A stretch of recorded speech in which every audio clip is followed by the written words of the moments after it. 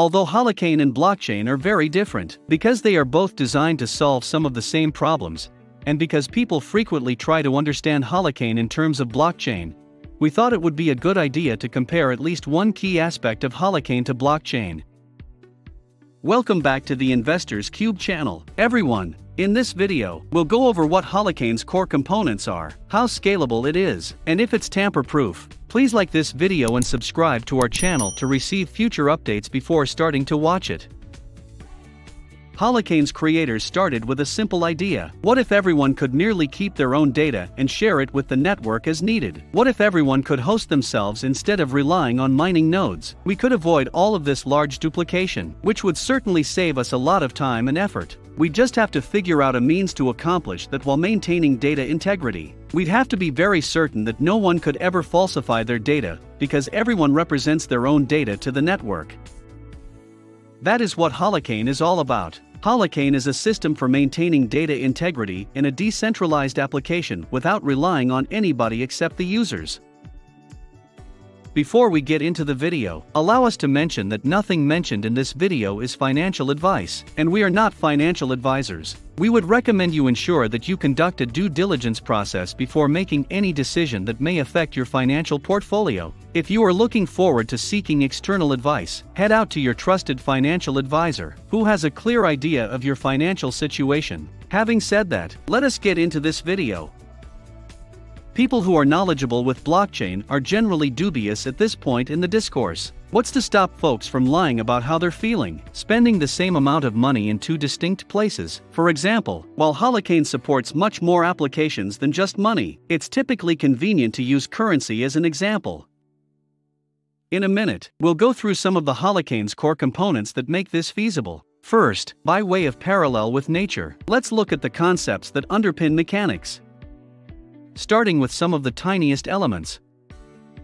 Consider the formation of a molecule of hydrogen chloride by the covalent bonding of a chlorine atom and a hydrogen atom. This necessitates the existence of a free electron in the hydrogen atom, one that is not shared with any other atom. What mechanism does the chlorine atom use to determine whether the hydrogen atom has an electron available?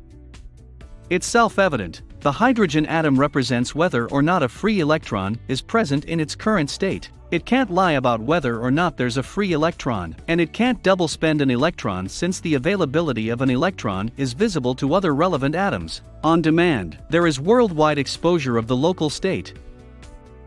It would be absurd to suppose that in order to determine if an atom has a free electron, a worldwide, synchronized ledger of all electrons in the universe is required. Alternatively, the state of the trillions of cells in our bodies should be reported on a worldwide body tracking system. To give a natural example with considerably larger things, the changes are already embodied in the cells. The quantities of oxygen in blood cells, for example, decide whether they supply oxygen in exchange for carbon dioxide to organ tissue cells. Once the blood cells reach the lungs, where they exchange carbon dioxide for new oxygen, the process reverses.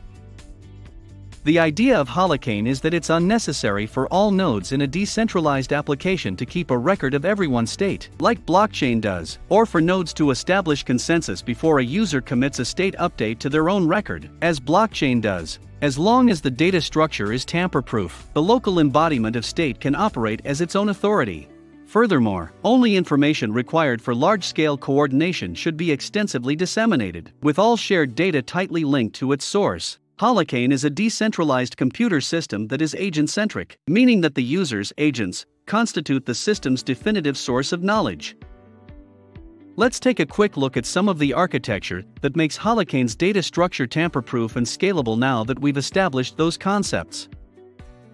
The supply chain. Each user's data is saved locally on their workstation on a source chain, which is a cryptographically signed record of everything you've ever done or said within Holochain apps. Source chains, like blockchains, are hash chains that assign each record or entry a cryptographic fingerprint or hash. Hashes are unique to the data they represent. In a thousand page book, changing one comma to a period would result in an entirely new hash.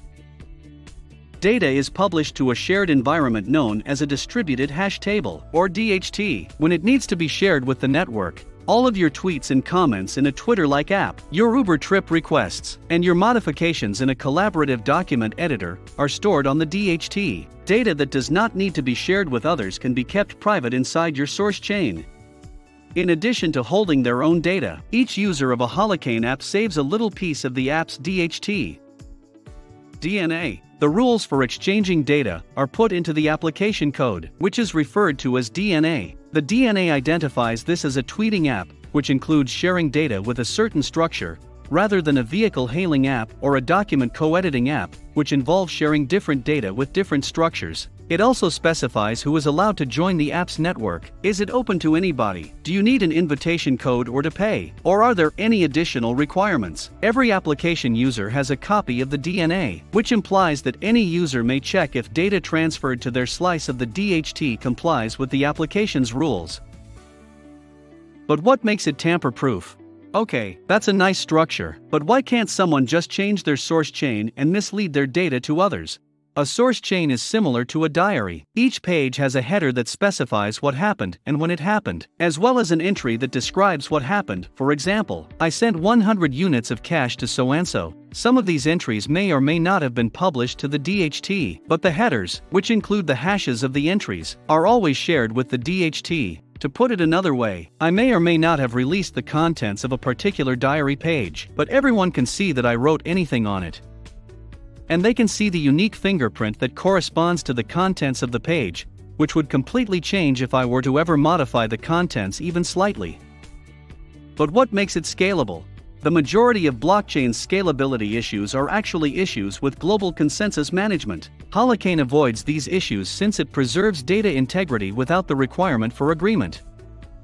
There is no requirement for universal consent. Let's stick with the monetary example for a moment. How many computers must authenticate our transaction before it can be carried out? If this were a blockchain, all nodes would have to agree on something and retain a record of our transaction for the rest of time. In Holochain, a transaction is complete when it has been written by only two computers, yours and mine. Then we post the data to the DHT, where it is stored by randomized groups of nodes, so that others may verify for themselves, as needed, that we are appropriately portraying our states.